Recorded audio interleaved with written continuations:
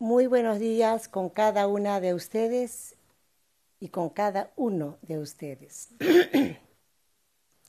Queridas hermanas, mujeres, emprendedoras, dignas representantes peruanas y de las economías APEC. Señoras y señores ministros de Estado, distinguidas autoridades y altos funcionarios del sector público-privado, señoras y señores. Efectivamente, esta es la tercera vez que compartimos este espacio donde las mujeres nos encontramos y nos miramos a los ojos y siempre repartimos la misma pregunta. ¿Y por qué somos las menos que estamos en los espacios de decisiones y de poder? Hay que seguir trabajando duro para que esa pregunta más bien se convierta en adelante para poder felicitarnos y decirnos somos el 50 más uno que estamos en los lugares importantes de decisión, de gobernanza y de poder. El empoderamiento económico de las mujeres es un tema trascendental si queremos impulsar el desarrollo inclusivo de nuestra querida región Asia-Pacífico.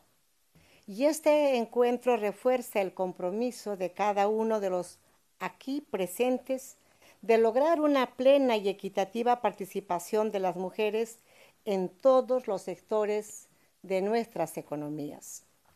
Según el Fondo Monetario Internacional, los países en vías del desarrollo podríamos aumentar nuestro PBI en un 8% si elevamos la tasa de participación femenina en la fuerza laboral en 5,9 puntos porcentuales. Este escenario nos indica de manera clara que el empoderamiento de la mujer no es solamente un asunto de equidad.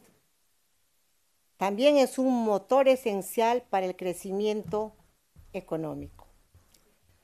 Más aún, si tomamos en cuenta las cifras de la Organización Internacional del Trabajo sobre la tasa de participación laboral. En el caso de las mujeres, esta tasa es de poco menos del 47% frente al 72% de los varones. Por ello, es imprescindible priorizar el empoderamiento económico de las mujeres a través de su inclusión en el mercado laboral y en todos los sectores económicos en general y así avanzar hacia un crecimiento económico inclusivo y sostenible. En el Foro de la Mujer y la Economía de APEC 2024, en Arequipa se acordó centrar nuestros esfuerzos en crear oportunidades inclusivas de crecimiento para mujeres de diversos orígenes, en especial para aquellas que enfrentan barreras socioeconómicas altas, como las mujeres indígenas en situación de pobreza, con discapacidad, adultas mayores y aquellas que viven en zonas rurales. También resulta necesario eliminar aquellas barreras financieras y culturales que impiden el acceso femenino a carreras de ciencia, tecnología, ingeniería y matemáticas.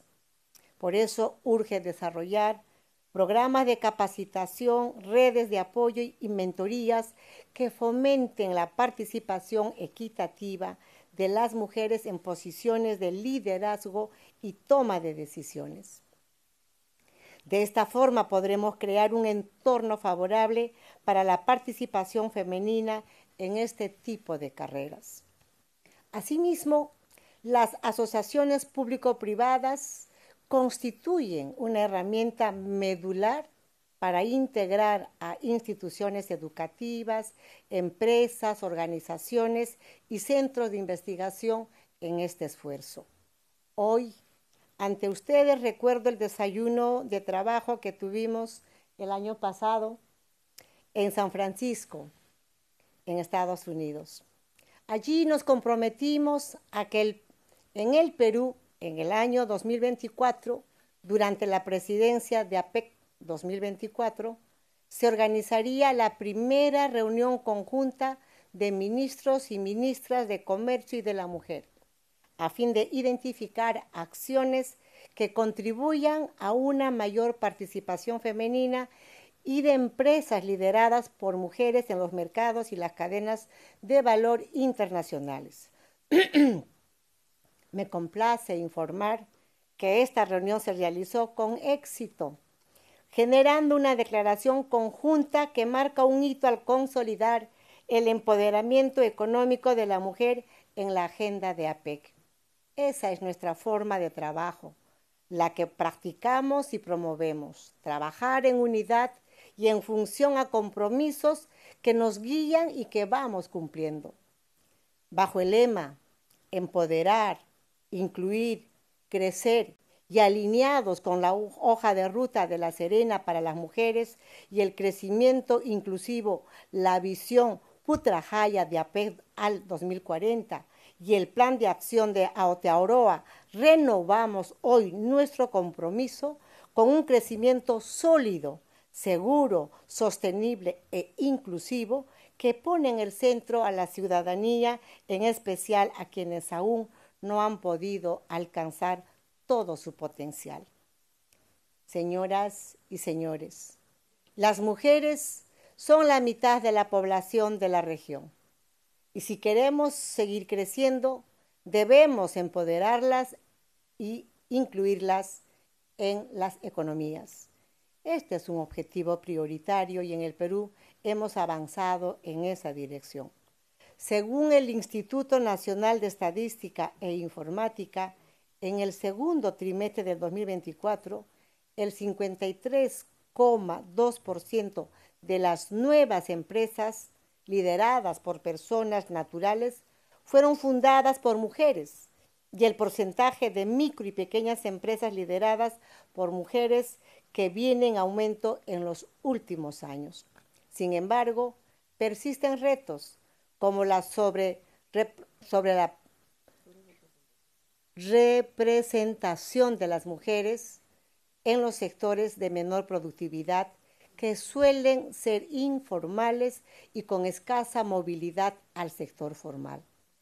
Para enfrentar estos desafíos es esencial diseñar, implementar y dar seguimiento a políticas públicas integrales y de carácter multisectorial que comprometan al Estado en su conjunto con la inclusión económica plena y equitativa de las mujeres. El Perú promueve una política nacional de igualdad de género que identifica la discriminación estructural contra las mujeres como un problema público causado por patrones socioculturales, la asignación desigual de roles, las normas y la cultura institucional. Frente a ello, lanzamos la Estrategia Nacional Mujer Emprendedora para fortalecer la autonomía económica de las microempresarias y favorecer el incremento de oportunidades de acceso a servicios, intervenciones o iniciativas acordes a sus necesidades. En esa línea, el Ministerio de Economía posee un comité consultivo de inclusión financiera para mujeres que trabaja en estrategias de fortalecimiento de capacidades financieras y acceso y uso de servicios financieros.